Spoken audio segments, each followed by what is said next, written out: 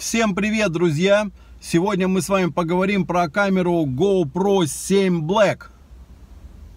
Я эту камеру купил, наверное, ну, может быть, 2-3 месяца назад, я точно не помню, но я искал именно экшен камеру, чтобы была маленькая, удобная, чтобы я мог снимать в машине. И в этом ролике я вам расскажу про эту камеру. Также я ее сравню с iPhone 7, чистая семерка, не плюс, на которую именно сейчас идет съемка и на которую пишется звук, никакой петли у меня нету. И также сравним с камерой, это Olympus OMD 10 Mark II цифровой фотоаппарат, очень неплохой, между прочим. Но основная тема сегодняшнего разговора это GoPro 7 Black. Сейчас я выйду на улицу и включу уже Olympus, на который буду говорить, э, ну, там уже подключу звук, и на который буду снимать и рассказывать про GoPro. Пока основная информация вводная, что меня побудило купить эту камеру. Поскольку я уже три года перед вами пляшу и танцую, и выпендриваюсь. На основном канале у меня сегодня будет 46 тысяч подписчиков. Я оставлю ссылку на основной канал, конечно же, под видео.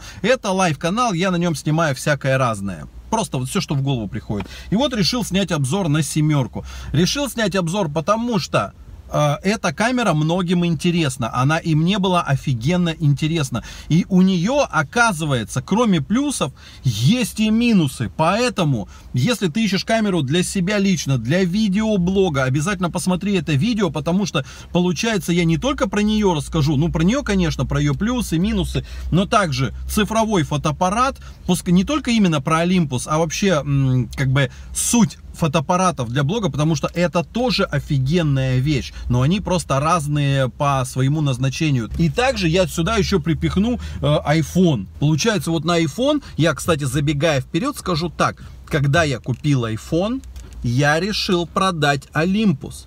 Как думаете, почему? Несложно догадаться. Ребята, 20 тысяч рублей продаю Олимпус в хорошем состоянии, действительно неплохо снимает. Многим из вас он будет больше подойдет, чем, например, как iPhone для меня. Возвращаемся к GoPro.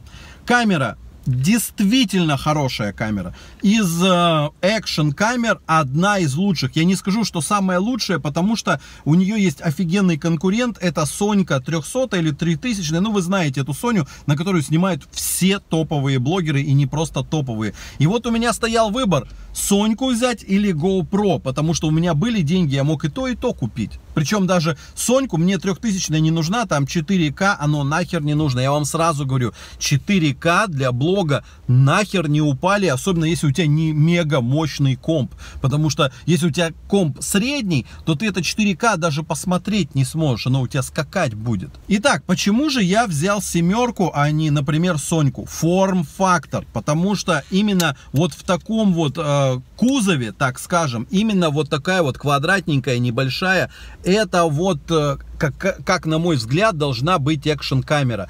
Она, семерка, она чуть тяжелее, чем тройки, четверки. Вот эта классика GoPro, тройка, четверка.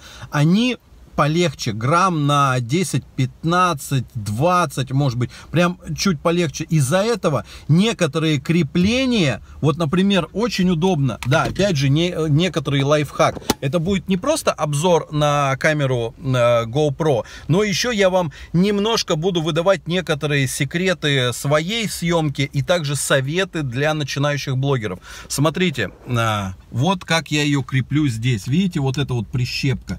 Это одно из самых удобных креплений, потому что сразу вот так я одной рукой не могу, но ты ее туда вставил, и все, и она стоит. Взял и снял очень быстро. Не надо ничего прикручивать, откручивать там и прочая ебля. Поскольку одно из основных моих мест съемки это автомобиль, потому что основной мой, канал, он посвящен тематике такси и автотематике, поэтому у меня здесь крепление вот здесь, вот он здесь, где висит телефон, вот здесь у меня магнитное крепление, то есть я весь обвешен всякой фигней, чтобы и стримить, и снимать. Соньку, если бы я поставил, они еще в основном белого цвета, и у нее, ну, сами знаете, как она выглядит. Я бы ее, если здесь прикрепил, она бы тут же бросалась в глаза пассажирам. Я тайно снимаю пассажиров. Ну, кто смотрел мой основной канал, те знают. Э, кто не смотрел, подпишитесь, кстати. В описании, повторюсь, есть ссылка. Это вот основное было, почему я ее взял. Также, второй очень важный момент. Стабилизация. Здесь она мега офигенная. Хоть на Соньке стабилизация, она и оптическая, и электронная, и вместе это включаешь, и получается очень круто. Здесь только электронная но она работает лучше, чем э, у Соньки. Стабилизация здесь действительно именно вот эту камеру. Я купил себе электронный стабилизатор для телефона, и там есть переходник, чтобы снимать на экшен камеру, то есть с электронного стабилизатора. И в результате он у меня лежит, потому что я просто беру вот так вот, снимаю себя, иду, ну только вот при помощи этой фигни, просто обычный держатель. Вот, я вот так вот просто, он такой маленький, удобный, кстати, офигенно вот раз, как штативчик поставил или держать, он в кулаке. Идешь вот так вот себя снимаешь, и камера как плывет. Не, ну она вот так вот, как э, плавненько плывет, так покачивается. Конечно, когда идешь, рука ведь шевелится. Но если стараться идти ровно, осознавая это, то она вообще прям вот как вот как в кино будет плыть.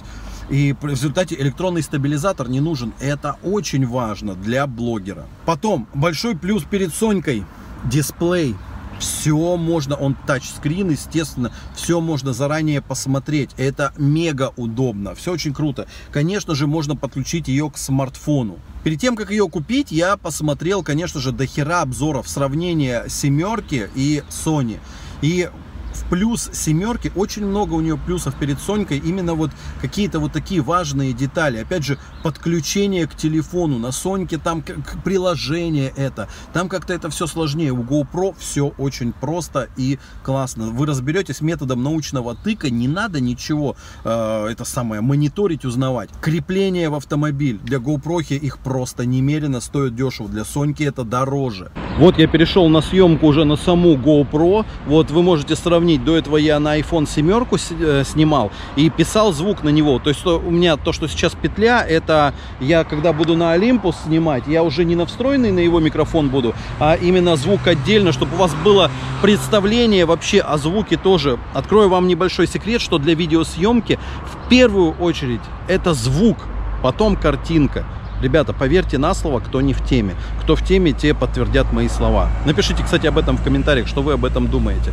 И вот смотрите, как вам съемка. GoPro сейчас находится от меня где-то сантиметров, ну, 40 и у меня полностью голова помещается, и я не знаю, ну, мне кажется, где-нибудь до сюда я должен быть виден. У нее есть три режима в плане съемки, имею в виду в плане широкого угла. Вот это самый узкий, он мне больше всего нравится, потому что наименьшее искажение он дает, снимает как обычная камера в большинстве случаев, то есть как-то рядом к натуральной съемке. Потом можно сделать широкий угол, обзор он будет шире, и потом какой-то еще мега широкий, супер вью, по-моему, он называется. Там вообще капец, то есть ты можешь в, там в 20 сантиметрах от лица, и ты будешь виден по пояс там. Ну, это такое, ну, в, совсем в гробу снимать, короче. Я им стараюсь не пользоваться. Мне больше нравится вот такой вот. Как вам звук? В большинстве случаев звук нормальный, но тоже есть свой небольшой минус. Поскольку у камеры три микрофона, то есть если задувает ветер, например, отсюда, где у нее? Э, вот, слева, вот с этой стороны есть микрофон, с этой стороны и, по-моему, снизу еще микрофон. Да, три микрофона. С одной стороны, хорошо, они молодцы, придумали такую фишку, чтобы электроника тебе помогала, когда дует ветер. Например, с этой стороны задувает, э, он этот микрофон вырубает и ловит звук с другого микрофона. Как бы задумка нормальная. Но в шумных местах, типа как на улице, это может сыграть с вами некую злую шутку. Вы должны это понимать. Я перед тем, как начинать съемку, то есть я нажал, чтобы пошла съемка, и поговорю там 2 секунды, раз, два, раз, один, два, три, оп, оп, оп, что-то такое, чтобы настроились микрофоны, и после этого начинаю говорить. Потому что он начинает ловить звуки. От где-нибудь рядом проедет машина, он, камера подумает, там эта электронная система подумает, что тот звук важнее, переключится туда. Поэтому нужно стараться это учитывать и э, говорить, ну, погромче, что ли, или то есть учитывать эту фигню, когда ты пишешь звук именно на GoPro. Звук действительно неплохой. Вот вы сейчас меня слышите, я думаю, очень хорошо меня слышите. Я этот звук обрабатывать почти не буду. Как чуть-чуть, может быть, по громкости добавлю, посмотрю. Но я его не буду как-то там э, шумодав какой-то делать, там компрессию. Я этого, может быть, вообще даже трогать не буду. Э, ну, может быть, по громкости, просто чтобы вам приятнее было слышать. Конкретной обработки звука не будет. Вот я, кстати, давайте я похожу, чтобы вы поняли, какая стабилизация, да. Я стараюсь держать ровно, чтобы камера как будто бы плыла. А вот э, как бы я обычно сейчас пройду таким средним шагом. И смотрите, выйду сейчас на солнце, чтобы пересвет какой-нибудь появился. Есть тема с цветокоррекцией.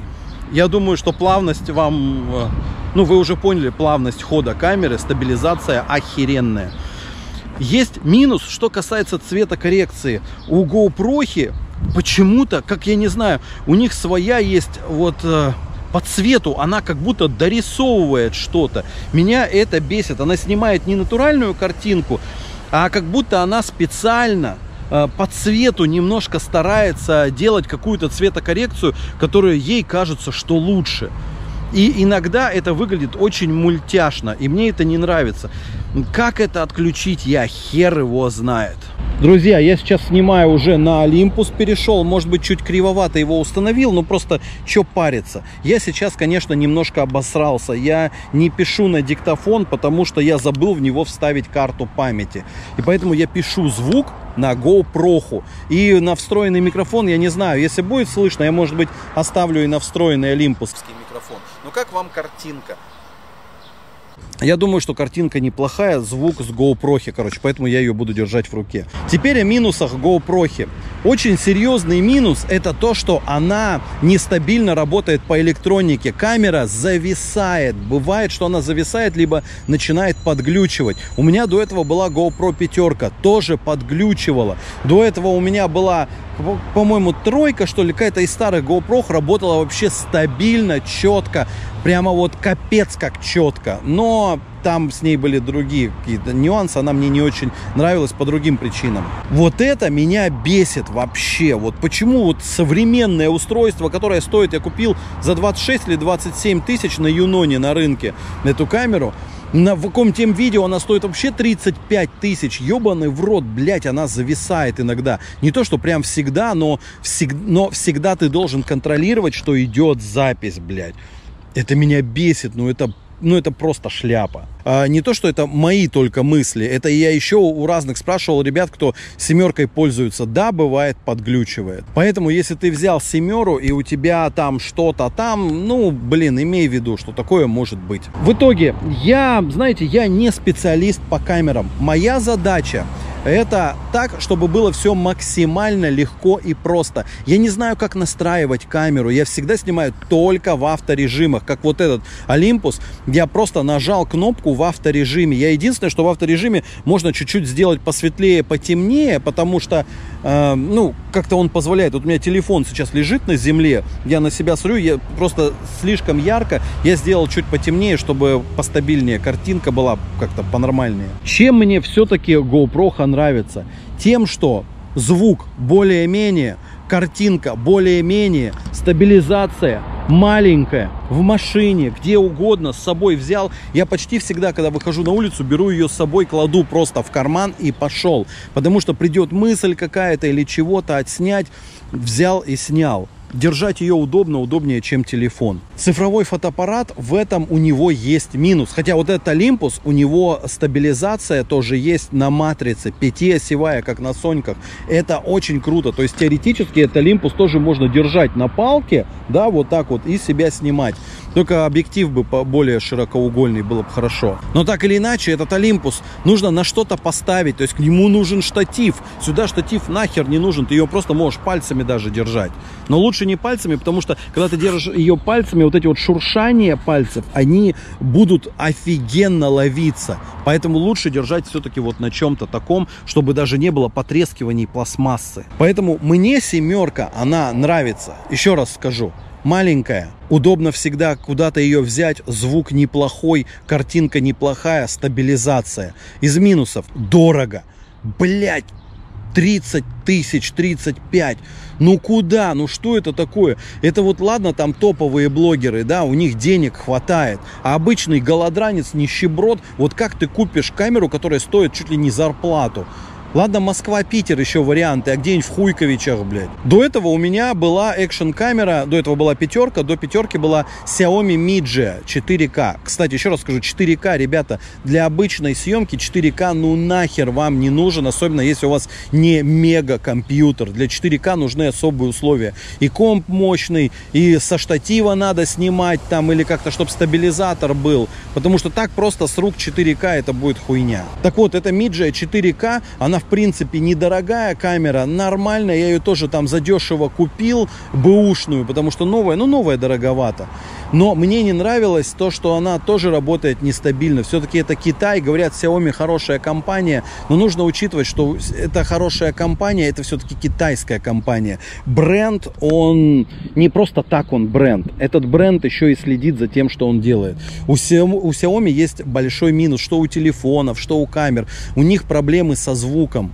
И это просто вот знают многие. Проблемы со звуком. Может микрофон отключиться. Просто звук хуже. А звук это офигенно важно. И вот сейчас я вот сам думаю, эта камера, если меня будет бесить вот своей вот этой вот фигней, то, что там э, она будет зависать иногда. Там, я не знаю, что еще. У нее, кстати, аккумулятор держит недолго, где-то час.